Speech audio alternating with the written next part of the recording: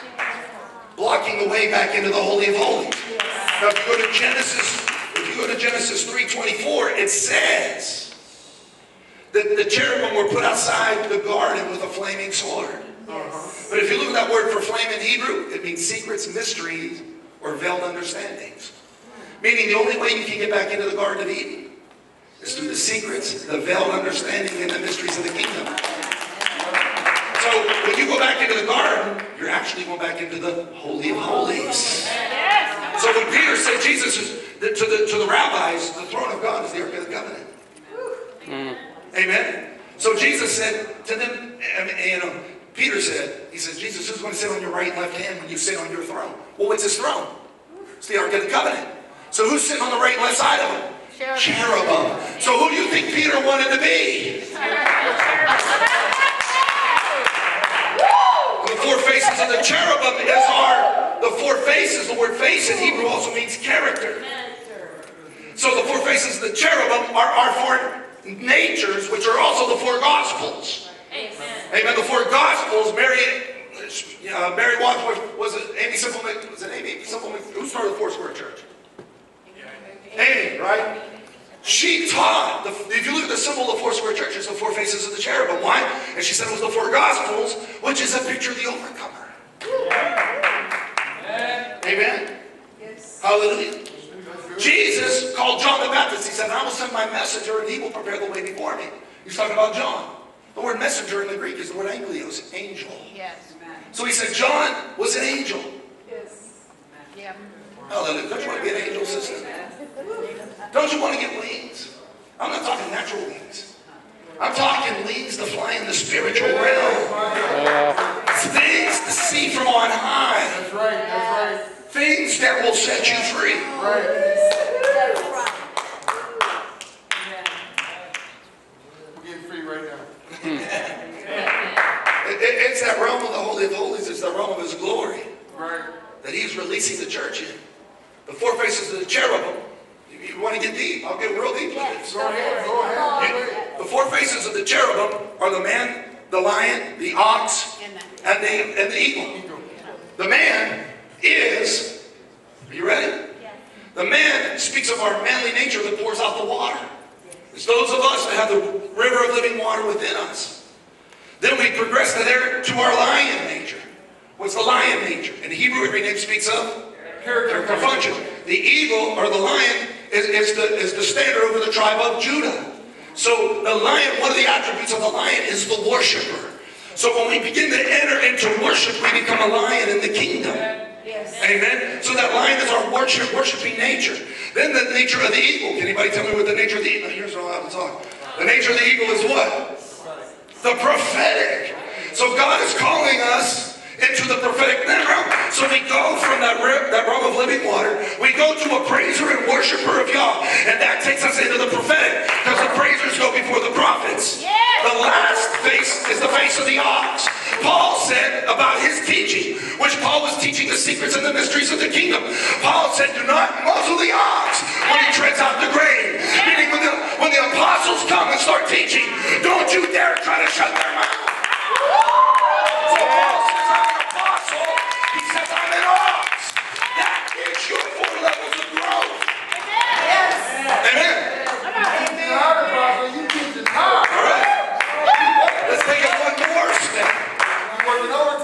Hallelujah. How many y'all heard the world was coming to an end? December 21st, 2012. Yeah. Amen. But the church was like, well, what's going to happen? Blah, blah, blah, blah, blah. But there was a spiritual release. Yes. And people don't even realize what was happening back then. The, the, the calendar goes through what is called a long count. It's almost 26,000 years. But that long count is when the earth goes through the whole, what we call the zodiac. The, the Hebrews call it the Nemezereth, the study of the stars. Daniel understood the stars. As a matter of fact, when the wise men came, they came from where Daniel, uh, they believed that the wise men were actually taught descendants of Daniel Yes. that Daniel knew when the Messiah would come by the study of the stars. They believed that they knew that. So th- there's rabbis that teach that, or there's those rabbis that teach that have been converted over to Christianity, that, that Daniel was a, a eunuch. Daniel didn't have a family, he didn't have a wife. So he stored all of his monies, all of his finances, everything that he had, and he passed it down through all generations. And he said, This is the date that you bring everything I have to the Messiah when he's born. Oh, my God. So when the wise men came with the treasure, ah. That was actually Daniel's money. That's not legalistic. Hallelujah. Amen. So when, when you get a revelation of that, look how beautiful it is to understand the prophetic. Glory. Meaning Daniel seen, he said, I want to be part. I won't be alive, but I want to be part of when that happens. So what did they follow? They followed the star.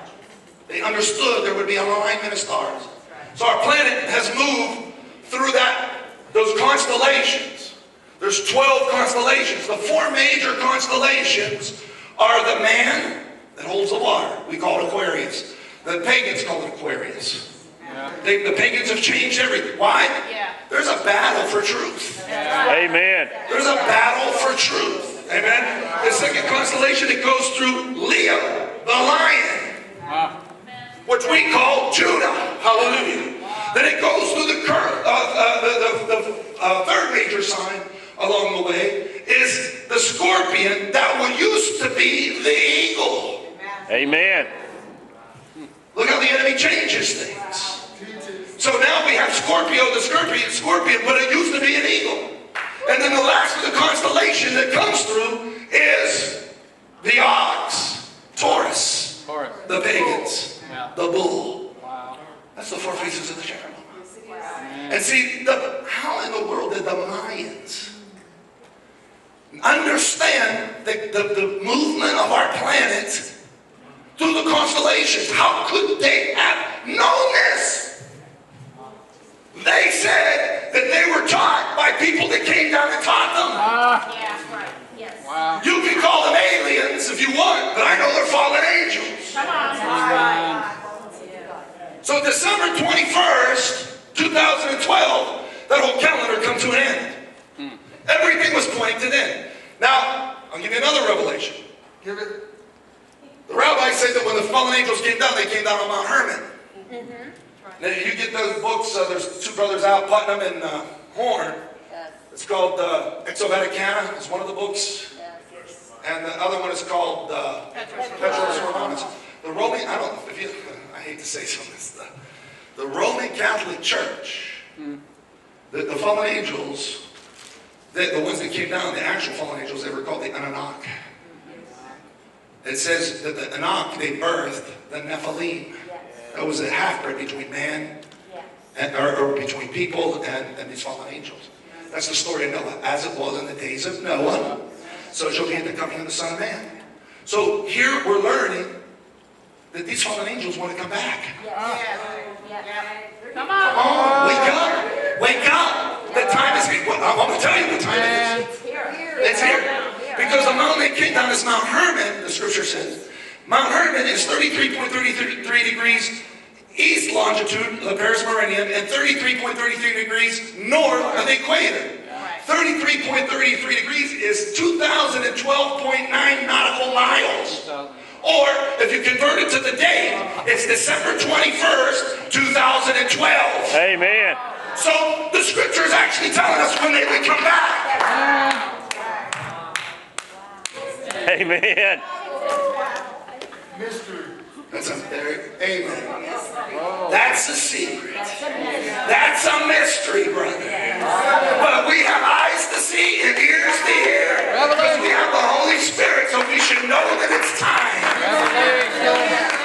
Our battle's not against these. See, we've been fighting with demons. But God is getting ready to send his church into battle with fallen angels, scripture said our battle is not against flesh and blood, but against principalities. And to fight a prince, you gotta be a prince.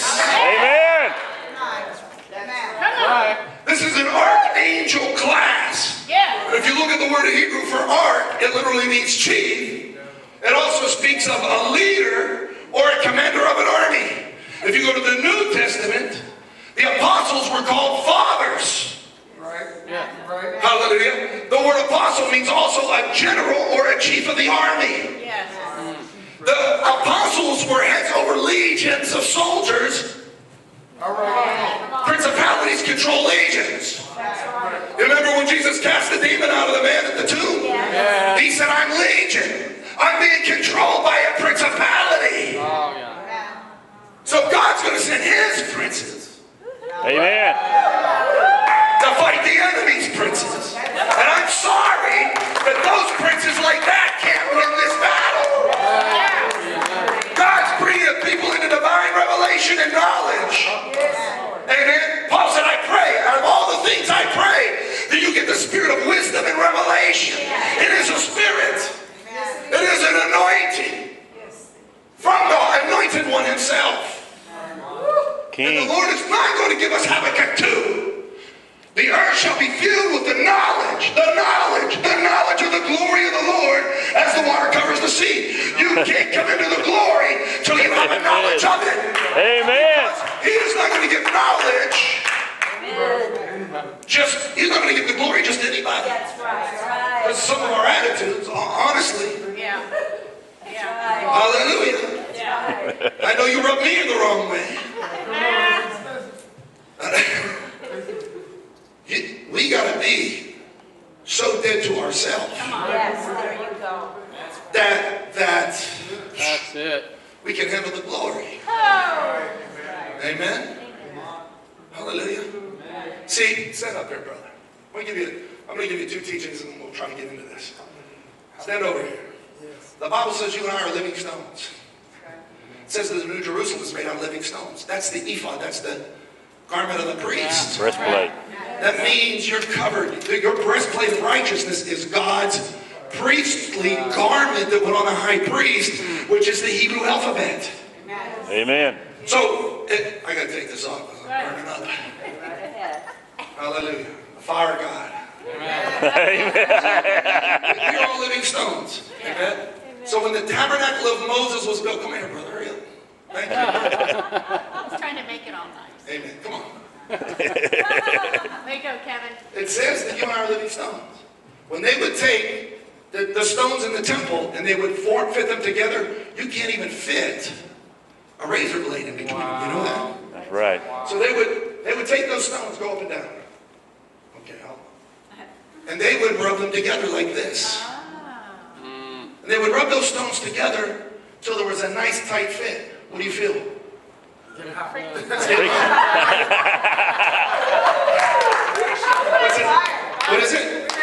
Friction. Go sit down. Hallelujah. Meaning, God brings other people in your life that are his stones to bring friction into your life so that you can be a nice tight fit with everybody else in the body of Christ.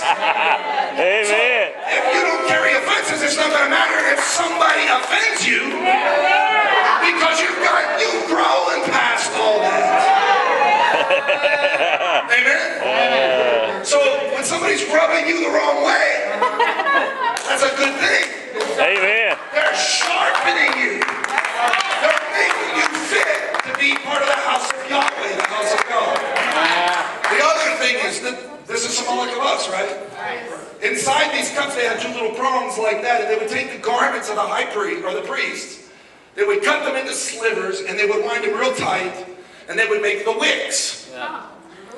The garment that they would cut is called the garment of fine linen. Right. What is the garment of fine linen symbolic of? Christ alone. The book of Revelation says that the bride, she wears the garment of fine linen, meaning she's a priest.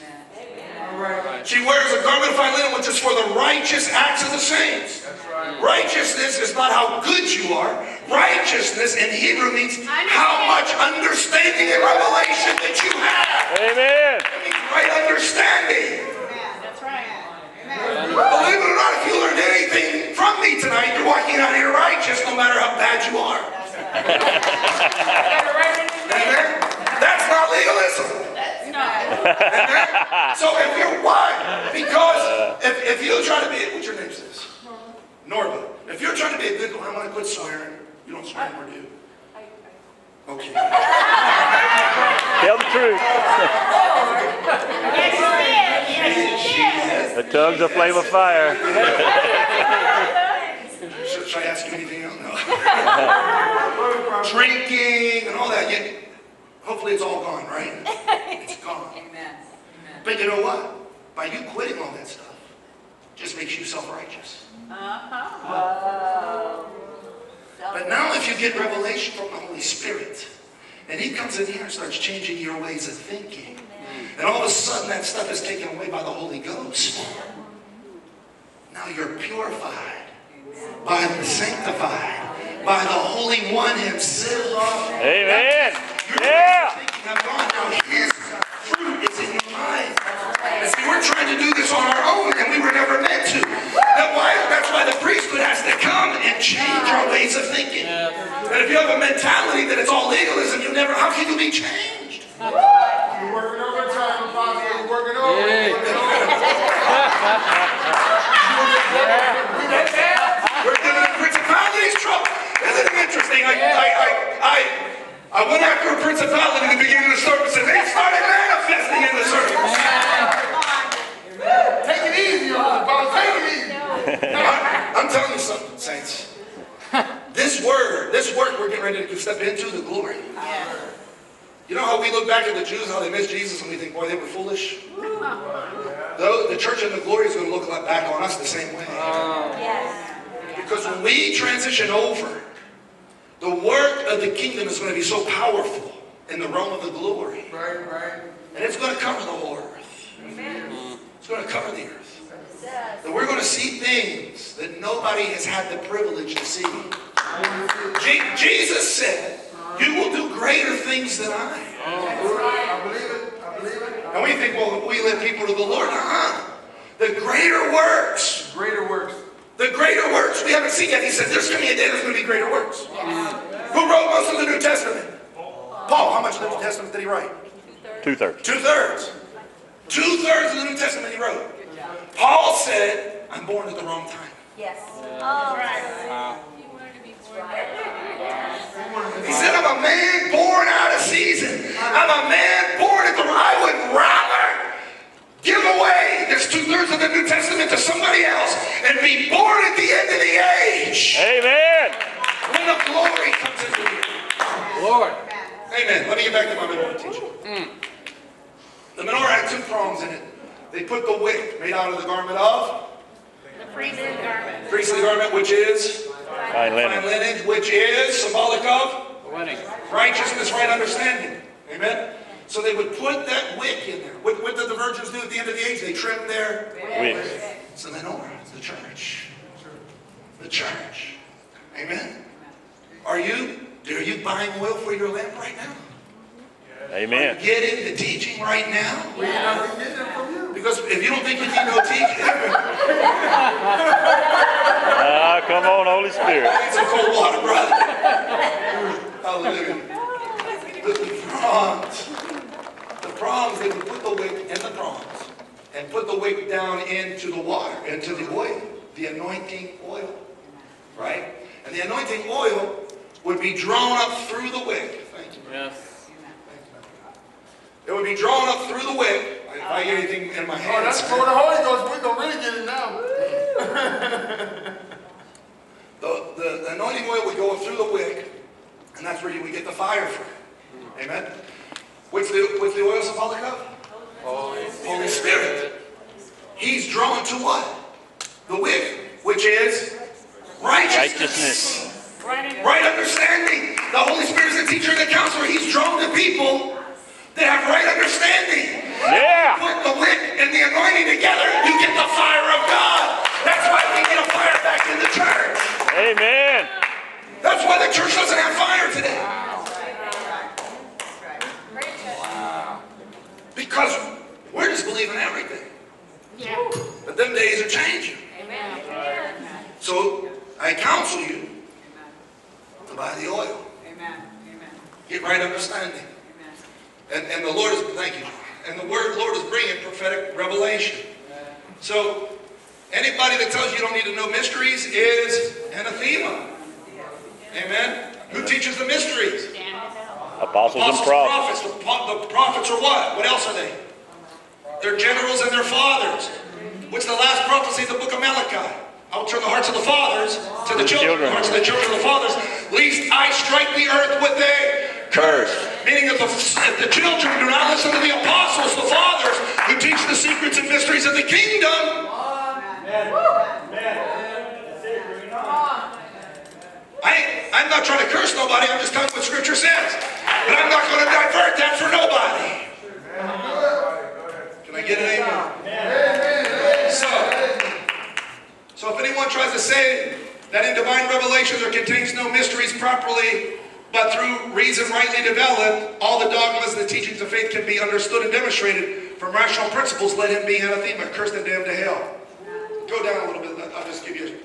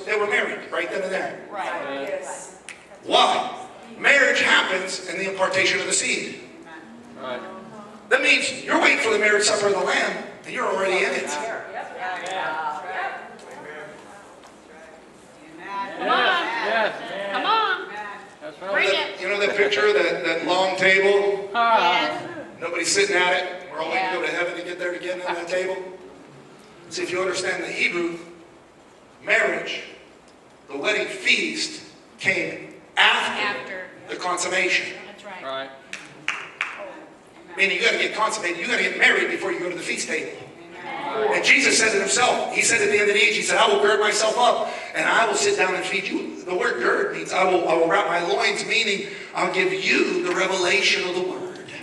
I'm going to feed you the revelation of the kingdom before I return. Wow. Every parable teaches us that. The vineyard. The king went, right, the, the, the servant left, come back to the vineyard, he said, I want paid. Parable of the talents, come back, I want paid. We're not paying. But Jesus already paid the price. Amen. You know the word in Hebrew for, for sin means dead. So if there's sin in your life, that means you got dead. But Jesus paid the debt on the cross. So I don't have to. Really? Then why did Paul say, every day I go to the cross? Every day I pick up my cross. Every day I got to die to myself. Where did Jesus die at? Golgotha. What's Golgotha mean? Place of the Place of the skull. skull.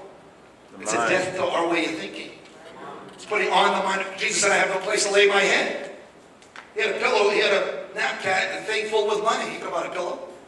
He wasn't talking about a pillow. That's He was talking about a body. to put the mind of Christ onto. A mature body that could carry the glory because the scripture says the government shall be upon his shoulders. Uh-huh. Mustard seed faith. If you have the faith of a mustard seed, you'll say to this mountain, Be ye. If you have just a little bit of faith, you can speak to a mountain that'll move, right? Amen. Well, let's all go out back and see who got just a teeny bit of faith. Let's move these mountains back here. Put them where I live, and I'll live on them. Hallelujah. Amen. But see, in Hebrew thought, a mountain is also your mind. Right. In Hebrew, the word for mind also means a mountain. What's the, what's the seed? It's the word.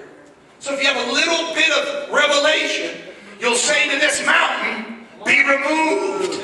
You'll get rid of all your carnal thinking. By one little imparted seed, the word of revelation of God in you will remove a whole mountain of carnality out of your life. You're getting that, sister. Amen.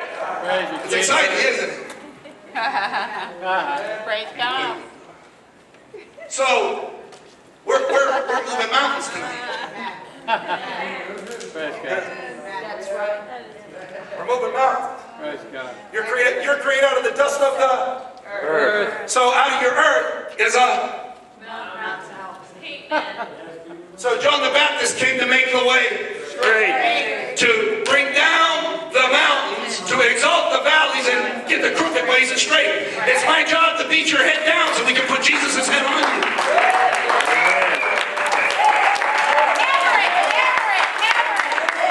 Read the Bible. Come on brother. We'll use you again.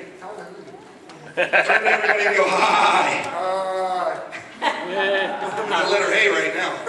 Put your hands down. He's got, he's a sheep. That's right. Right. Meaning God has prepared all of us as sheep. We're all for what? Sacrifice. When a sheep was sacrificed, they would take their sword, their, their dagger, which is another name for sword in Hebrew, Uh-huh. and cut the head of the sheep off. Amen? Amen. And while they were cutting the head of that sheep off, they were holding him by the throat so he couldn't make a noise. Ah, Try to say something. so, so, who's the sheep? We are. So when we're being sacrificed, we're not allowed to murmur or complain. Right. We're not allowed to. Ah, I mean, you got to be a, a living sacrifice, quiet when you go through the process. Amen. Glory. And that's one of my problems. Hallelujah. I'm Italian, so I have that problem. So, hallelujah. So they would take their dagger and they would cut the head off. What was your dagger?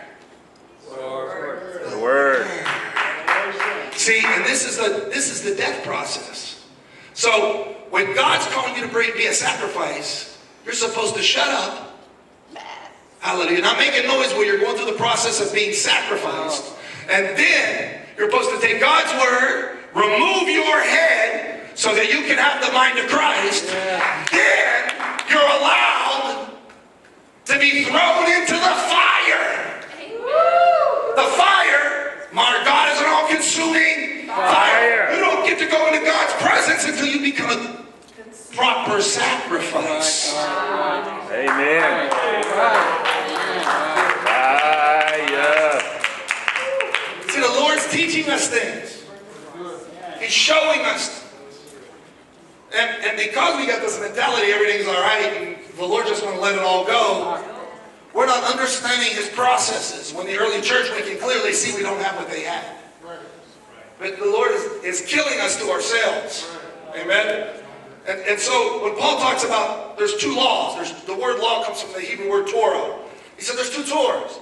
There's a legalism, there's the Torah of sin and death, but he also says there's a Torah of life. But it's still both the Torah. Come back up here. But he, Jesus said we are, Paul said we're a branch that's engrafted into the vine. Right. Right? So we've been engrafted in to the vine, into the tree, which is Jesus. Amen? Right. But would it get into the tree if God pulled it out? What? Say it again. What's the tree symbolic of? Jesus. What's the root symbolic of? God. The Torah. The Torah. Okay. Did God pull the Torah out of the ground? No, He cut them off and He grafted us in. Oh. And He didn't get rid of Torah. Right. So why are we teaching that He did? Go ahead, sit. Matter of fact, there was an early church, they were called the Manichaeans. They worshiped this guy. He said God was angry, God was mad, and that everything was under grace, and that you, everything was taken care of at the cross. And so you didn't have to, you didn't have to, uh, you didn't have to, you just had to follow Jesus and see your Lord they were around 300, 400, I think, AD. But when they came out with that theology, they were rebuked by the early church and considered heretics for teaching that the Torah was done away with. Hello? See, if, see, I just happen to believe there's a war going on. Amen. And that war, that war is for truth. And Amen. these demons do not want to spend eternity in damnation. They will do everything they can to keep themselves out. They're going. And we should be doing everything we can to keep ourselves out too. That's right. Because there's, there are things that the New Testament is teaching us, and because we do not understand the Hebrew, we don't understand the Old, we cannot switch over to what the New's really saying. The Old Testament is the New Testament concealed, and the New Testament is the Old Testament revealed. That's right. But we don't understand that. We're, we're trying to just stay in the new without asking the old. Right, right. And just like that menorah symbolic of the church, how many of you just found that out? So if you read the book of Revelation, it teaches you that. Wow. It is the church that's moved into the glory. Amen. The virgins didn't have enough oil in their menorahs. See? The Lord is giving us a revelation. He's teaching us things. He's, he's trying to get us freed up. Amen. You shall know the truth. The truth shall set you Free. free. Because if you're in sin, you're in debt. And the Lord wants you out of debt. Liquid. What did, what did Paul say when he said, let's go on to perfection? Be perfect just as your Father in heaven is perfect. Amen. Well, we can't be perfect. I don't know. You're calling God a liar. Did he say be perfect?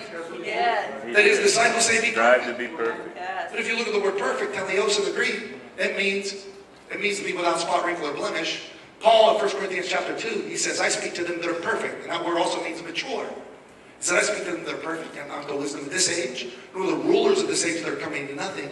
I speak the wisdom of God in a mystery.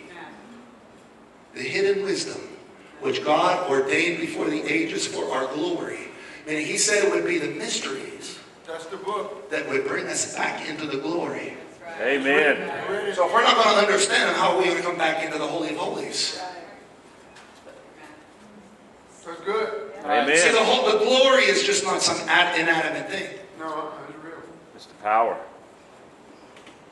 And I'm going to tell you something. Everybody that I've ever seen sit in these my church, every pastor, every theologian, everybody, rabbis, they're hungry to know God. Yes, Yeah. And guess what? What? The Lord delivers. yes, You'll sit in religion and you'll die. That's because it's the dead letter. Come on. But if you get the revelation, it'll bring you back to life. It will resurrect you. Amen. So get an amen? Amen. All right. I, I want to, I, man. Five minute break. Let. I want to, I'm going to give you a little bit about Abraham. Is that all right? Yeah. Do you realize that you and I are in a covenant right now to fulfill the Abrahamic covenant? Did you know that? Yes. Does anybody know what the Abrahamic covenant is? Nations. Nations. Nation. There's a lot, Of, there's a lot of churches running around and saying they're just waiting to get out. Yeah. But there is a covenant that God created with Abraham uh-huh. That's right. that that covenant was to rule the nations. Right, right. He gave him a name change. He went from Abraham to Abraham, Abram to Abraham, the father of many nations. Meaning it is a divine covenant, contract. Does anybody know another word for covenant? Marriage. Uh-huh. Meaning God married himself uh-huh. to Abraham. Amen. And we're going to go back in Genesis 17, verse 5. This is where the church is coming to. No longer shall your name be called Abram, but your name shall be called Abraham. Every name speaks of. character So when God changed his name, he changed his fruit, his character, and his function. There was a man by the name of Jacob. He wrestled an angel Right. at a place called Peniel. Peniel means face to face. That angel, when he wrestled Abraham, an angel will take you out with the word of his mouth. Yes. He's not playing with you like a little child and he's your dad. Right. Angels are powerful beings that can destroy right. principalities, even bring down nations and remove them instantly. Wow. Amen. It was angels that were sent in to deal with Sodom and Gomorrah. It was angels that were there in Egypt. Angels, you did not mess with them, right. let alone want to wrestle them. But the word angel, it does not mean like I would come to Kent and I would say, hey, Kent, I'm going to tell you something about so and so. And the Lord told me to tell you this. That's not, that's not the work of an angel. The word angel in the Hebrew, it literally means it's a message of El. Meaning it just does not come and tell you something. It is that divine character of the Father. Do you understand what I'm saying? So when an angel comes, he's bringing the fruit of the Father. Amen. Amen. So, when he is revealing things to us, when those angels are showing us things, Amen. amen, in that process of them showing us a message of El, we begin to be transformed. Amen. So the Bible says that God is at enmity with the carnal mind, meaning your carnal mind, he's fighting it. So he's sending his angels in order to kill your mind to bring the fruit of his spirits, the Amen. nature of his son in you. Can you understand that? Yes. Can you understand that? Amen. So it's not about you changing, it's about you letting the Holy Spirit bring the revelation and change you. Can I get an amen? Amen. But angels clearly are working with the Holy Spirit. Amen. And if we understood this process, we wouldn't be saying stuff like, no man knows the day or the hour. Yes. Amen. Come on. Because you would have some wisdom. Man doesn't, 1 Corinthians chapter 2, man does not know the things of God. But God reveals them through his Spirit. Amen. And with the Holy Spirit, you and I have the Holy Spirit, and so God reveals to us what he's getting ready to do. But man will never know what God's getting ready to do because he does not have the Spirit of God. Right. Right. That every time God reveals something, the angels don't know what God's getting ready to do. Man does not know what the angels are getting, or what God's getting ready to do. And the Son, the Scripture says, didn't know what the Father. Why? Because in the process of revelation, if God would reveal His plan and, and release those angels and release the Holy Spirit to come and tell Jesus what He was getting ready to do, Jesus would speak it into existence through the spirit of prophecy. But it wasn't time for that yet, so the Lord held it back till the revelation of Christ would come at the end of the age. Because if He would have spoken then, you and I wouldn't be here today. Do you understand that process? But no man will ever know the things of God because he does not have the Spirit of God. Paul says that. So God holds things back until his timing There you go. comes into fruition. And when that we're in, a, we're in God's parousia, we're in his timing, we're in his rhema time. Amen. There's an appearing happening. That appearing comes through revelation to start setting things in motion. I'll say things. I do it all the time. I said, the Lord's telling me this, and you'll watch it on the news within a week. Am I telling the truth? Pastor, am I telling the truth? Am I telling the truth? Amen. I'll say things and they'll just come to pass. Why? Because I, I, I'm in tune with the Holy Spirit. I'm in tune with that heavenly host.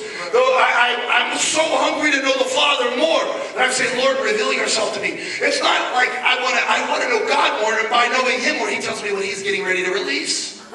He's telling all of us that. Amen. Amen. We're at the end of a, a cycle Paul says there's, there's a, he said, for those, Hebrews 6, for it's impossible for those that have tasted the word of the age to come, that they depart to renew them again to repentance. For it would be as crucifying Christ the second time. I'm paraphrasing that a little bit. Paul said there's another age coming. Right. But he said there's another word coming in that age that's different from the word of this age. Right. Yes.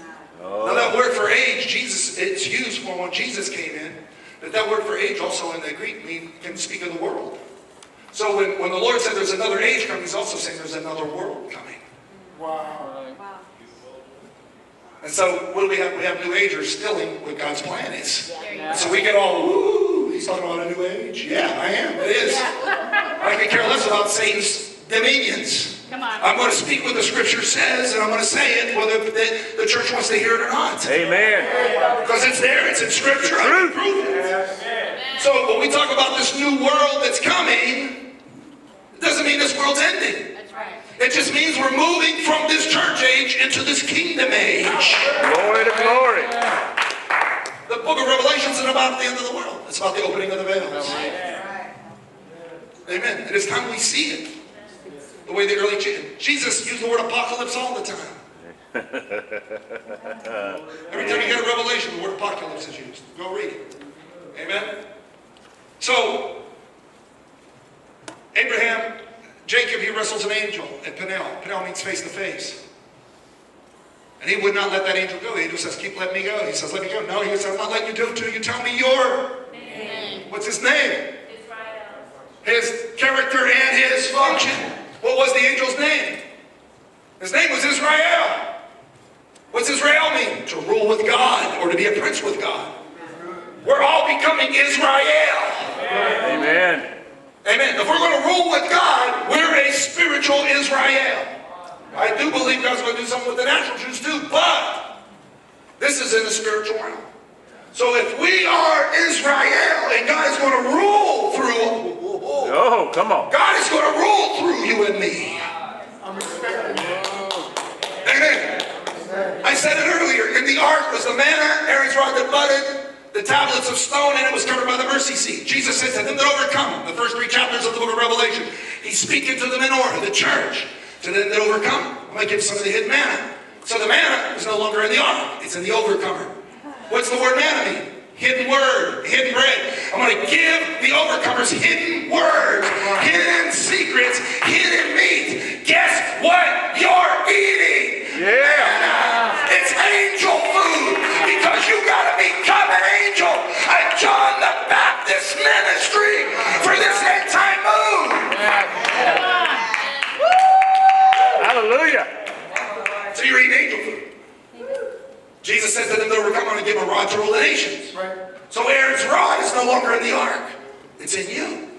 So the man is not in the ark, neither is the rod. Jesus said to them that overcomes, I'm going to make them a white stone. I'm going to write on them a new name, which no man knows but them and my Father. The tablets, the commandments are no longer in the ark. It's in you. Right. Jesus said to them that overcome, they were going to sit with me on my throne. What's his throne? The mercy seat. So now, you've become the mercy seat. Uh-huh. What does that mean? That means you've become the ark. Ark of the covenant. You have become the throne. You have become the place for his glory to be revealed from. Yes. Yes. Yes. Get your Bible. Yes. The word martyr. Does anybody know what the word martyr means? Martos. Yes. Joseph. It means to have your head removed. All right, do it again. Doesn't mean to get To get cut up. Doesn't mean to be hung. It means to have your head removed. So, why does God want your head removed? Mind So he of put his Christ. mind on there. Mind So of if Christ. you're going to be a good sacrifice, he wants you to be a martyr. He wants your head removed. Mine Christ. Go sit down. The same word is used for the word witness in the Greek. Yes, sir. Amen. Amen. So the word witness is the word martos. It means this. It means to have your head removed. So Jesus said, I'm going to send you out as my martyrs, my witnesses to Judea, Judea, Samaria, and the uttermost parts of the world. I'm going to send you out with your heads off. Right, right. Because you're going to be living sacrifices dead to yourself and have my mind on you. Amen. Right. That's right.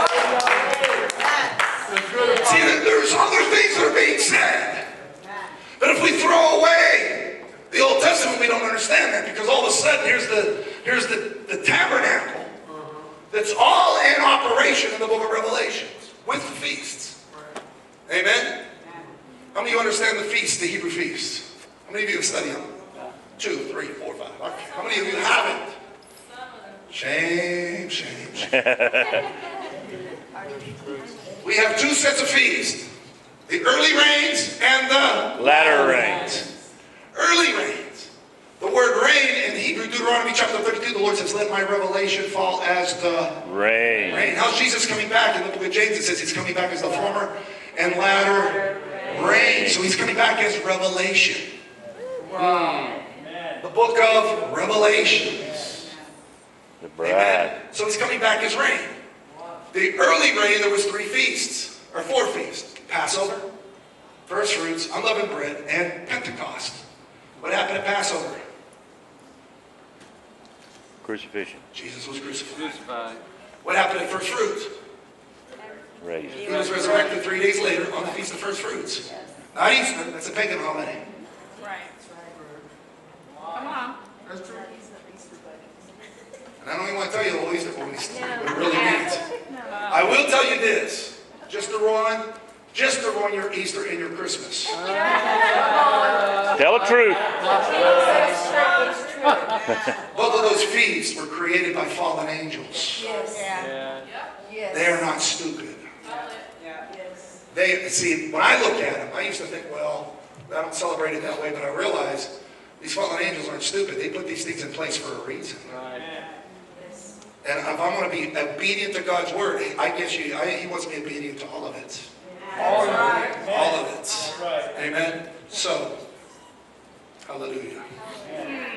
So on the feast of first fruits, which came three days after the feast of Passover, Jesus is crucified on Passover. So God tells us the day He's going to crucify him. And he, he is the Passover lamb. It's a typology.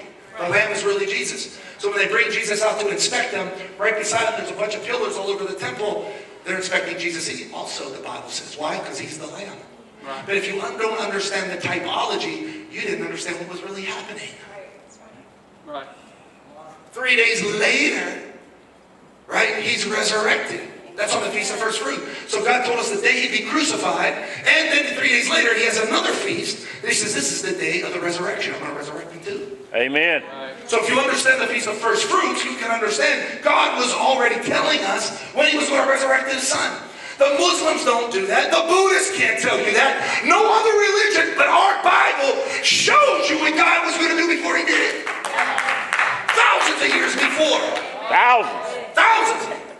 Amen. Say it again. 50 days after that, we have a feast called Pentecost. Pentecost. What happened on Pentecost? The church was birthed. The fire came down. Hallelujah. Meaning God told us the day his son would be resurrected, uh, would be crucified. He told us the day he would be resurrected, and he told us the day he would birth the church. Amen. At Pentecost, what happened on the first Pentecost? Does anybody know what that event was? In the Old Testament? Upper room. God came down on Mount Sinai. Oh, Right? first. He come down in trumpets, and he come down in fire. And he talked to Moses and gave him the Torah. The Torah. Then he come down on the mountain. What's the mountain symbolic of? The mind. The mindset. 1,500 years later, he come down on the mountain again. And he clove in tongues of fire. God told us in the old one he was going to do in the new one. Oh, we don't need to know Hebrew.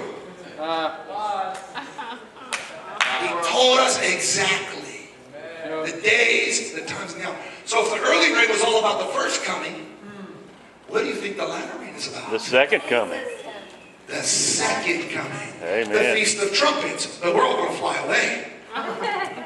The Feast of Trumpets are the prophets speaking to the church. Isaiah 58, the Lord says, lift up your voice like a shofar, a trumpet. The Lord says to Jeremiah, I made you a prophet and a trumpet to my people. John, in the book of Revelation, when Jesus spoke to him, he said he heard a voice as a trumpet speaking. So the trumpets of the book of Revelation that are being blown are the prophets speaking to the church, wake tonight, and telling the church, wake up, because it's getting ready to happen. Amen. Amen? Can you see that? In the middle, we have the Feast of Atonement. That's considered the marriage feast for the Jews. Right. Hallelujah. So the trumpets of the prophets saying, it's time to get married. It's time to wake up.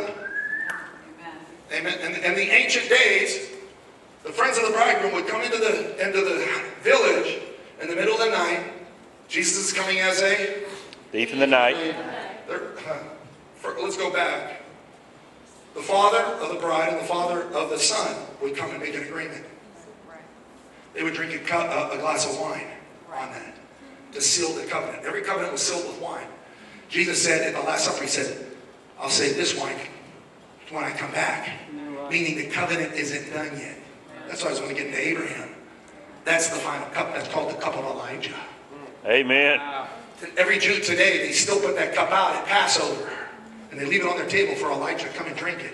They missed Elijah when he came. Because he came in the spirit of, he came in John the Baptist. Amen. Matthew 17, though, Jesus, after he's coming down off the Mount of Transfiguration, as it says, after six days, Jesus took Peter, James, and John and led them up a high mountain. Six days from what? Matthew chapter, Matthew chapter 17 and 16 are not in chronological order. We don't know why that scripture says that. I'll tell you why it says it. It's prophetic. We're at the end of six days, or if a day is equal to a thousand years, we're at the end of six days or 6,000 years. We're stepping into the seventh day. We know chronologically from the time of Adam till now, we're at the end of uh, at the end of 6,000 years or six days. You and I are going up a mountain. I'm trying to get up into your mountain Renew so your you can have a mind. transfiguration. Yes, all right. Does anybody know what the word transfiguration is in the Greek? Metamorphos. That's where a butterfly goes into a cocoon, and, or a, caterpillar goes into a cocoon, comes out a butterfly. The DNA of the caterpillar and the DNA of the, of, of the butterfly is two different DNAs. You cannot find any DNA in the butterfly that was in the caterpillar. Right. So Jesus goes up and he's transfigured. If you look at that word in the Greek, it means that he put on his glorified body. He was giving us a glimpse Wow. Yeah. Of what the glorified body was going to look like. And at that, at that, at that time, Moses and Elijah comes, the prophets, and the, uh, the prophet and the, the revelator, Moses. Right. Amen. Maybe the two things you have to have in the transfiguration is Torah and the prophets to interpret the secrets of Torah. Amen. Amen. Wow. Wow. Wow. Can I get an amen? That word, you know the scripture says, be ye transformed by the renewing of your mind. Guess what that word is? Metamorphos. That meaning, you're going to come into a glorified body when your mind is transfigured. Right. That's right. That's right. I want my mind transfigured, brother. Yes. Lord. You want Amen. it? Yes. I, I mean, this I want thing my gotta head removed. first. Yes. This thing got to go first. Amen. So the Lord's transfiguring us by the renewing of our mind. But obviously, religion hasn't gotten the job done. Right. No, it's not going to get the job done. Praise God. And I get an amen. Amen. Amen. I don't even want to go into the book of Jude or any of that stuff. But we're in the time of the transfiguration. Anyway, Jesus is coming down. The disciples said, Jesus, why the We know you're the Messiah. We just seen Elijah. We seen Moses, man. What an event. You, we seen your glorified body. As soon as they seen the glory, what did they do? They fell on their face like they were dead. Right. Same thing that happened to John when he seen him in the book of Revelation. Bam. You ain't going to run up and give Jesus a hug in the glory. Man. If, if you're not in the glory, you're going to fall on your face as a dead man too. Right. Amen. Because anything that's not in the glory is dead. Oh, yeah. Amen. So we gotta have the glory. Church was all asleep. Obviously, the, the, the, the cry went out, wake up, because the bridegroom's coming. Obviously, somebody knew Jesus was coming back. Obviously, there was people that understood it's time for his coming and appearing. So anyway, he's coming down the mountain of transfiguration. Jesus says, for I tell you the truth, Elijah has come, past tense, and they did to him what they wished. But I tell you the truth, Elijah will come, future tense. Amen. And, and restore all things. Oh, Amen. That's a powerful word right there. Because when he, when, and, and then it says, and they understood, he was talking to John the Baptist. I mean, John the Baptist is already dead at that point. But Jesus said there's another coming in the Elijah ministries. And he said they're going to restore all things. Can anybody tell me what that word restore means? Back to the Garden of Eden. That means we go back before oh, a fall. Meaning these ministries are being brought onto the scene to bring us back into the glory before the Lord returns at the end of six days. That means they have to be in the earth right now. Amen. Yes. And I'm sorry, a lot of our theologies, our eschatologies, do not make room for the Elijah ministries. That's right. Come on. All, all of our, most of the theologies I read, you cannot, where, where, where's Elijah in this? Where's the spirit of Elijah that's going to get us ready? That's what you got to ask yourself. Because to the Jews, you know who they're looking They're not looking for the Messiah to come back. You know who they're looking for? Why are they looking for Elijah? They missed it. Prophet. They missed him the first time. You know, there's a, Because they killed him. they, they, they don't think because they missed him, they killed the guy. You know why? Even Elijah was hid from them. He was a secret also. He was a mystery also. Because he was a man by the name of John the Baptist. Right. I'll, I'll preach that later. Hallelujah. I'll give you this. See, John was just not the Elijah ministry. He was preparing the way. They killed the messenger. The Jews have a school they call the School of Elijah, Brother. And they said this, in the School of Elijah, they teach this, that Elijah will either come at 4,000 years of biblical history or at 6,000 years. Then he come in 4,000 years. Did, and what did they do to him? So now they're saying he's coming again. We better not do this again. Amen. No, they're not saying that. They just, that- amen. They're saying that, that he's coming. We, they, they, they figure this way. This is the way the rabbis think. This is the way the whole Jewish people think. Right? They, too, they also believe that the Messiah will come and teach a language of secrets. Now, I had a hard time with that at first, but then I said, it's got to be in the New Testament. I can show you it's in the New Testament. Amen. Uh, who says I'll show this? Who says that? You said it? Okay, I'll show you that. Amen. Not yet, though. Remind me. So, you're learning the language of Messiah. Yes. The bride. How did he teach when he walked? He taught just like I'm teaching you right now. Was he legalistic? No. What's that? Amen. That's a good point, brother? I come up with good points every once in a while. Hallelujah.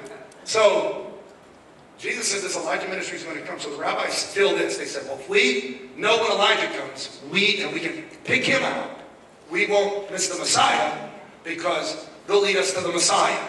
Amen. He'll lead us. Those ministries will lead us to the Messiah. So if we get it right with those guys, then we will we will make it. Right? So we know they made a big mess up last time. Amen. And the rabbis also teach this. So right now they're looking for these Elijah ministries. How many churches do you go to that they're looking for the Elijah ministries to come back now? One. This one. They don't have a Just right here? Your church? Amen. Right here. Yay, pastor.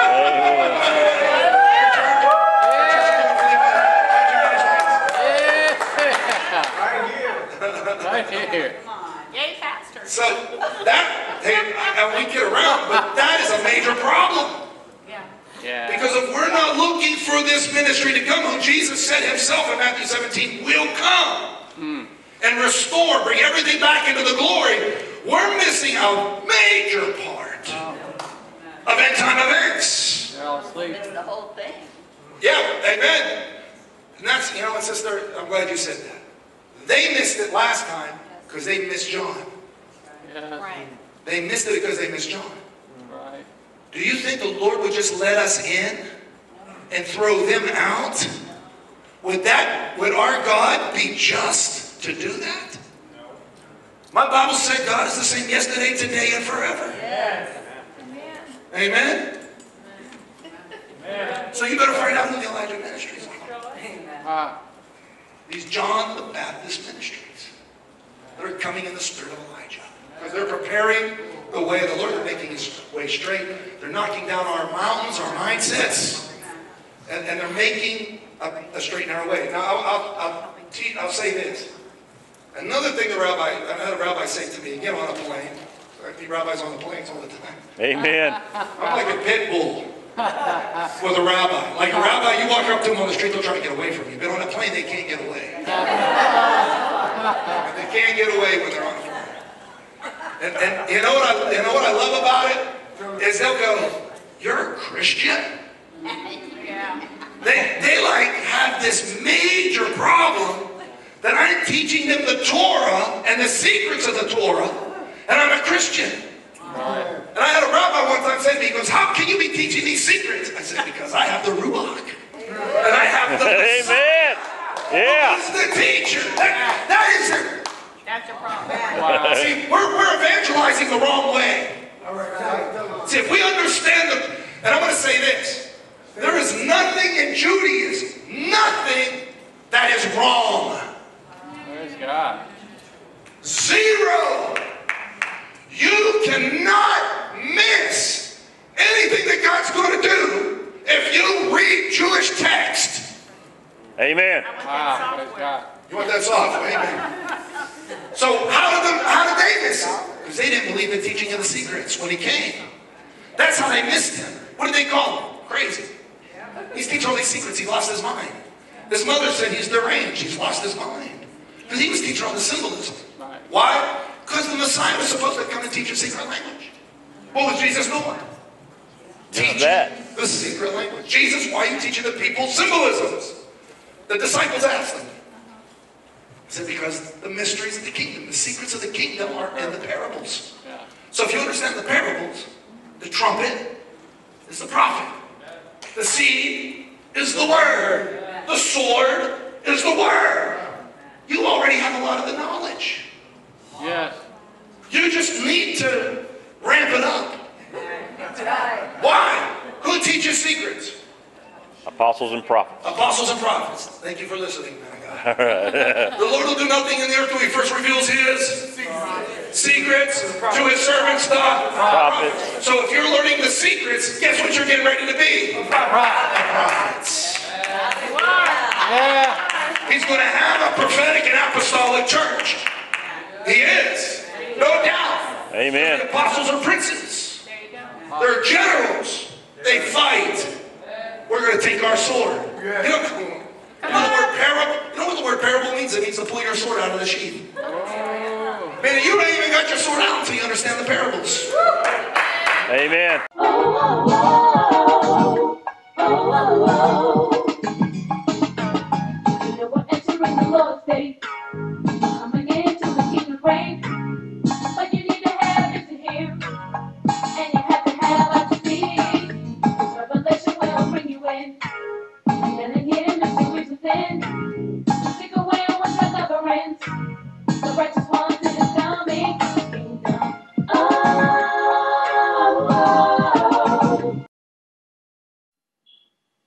The Lord bless you and keep you.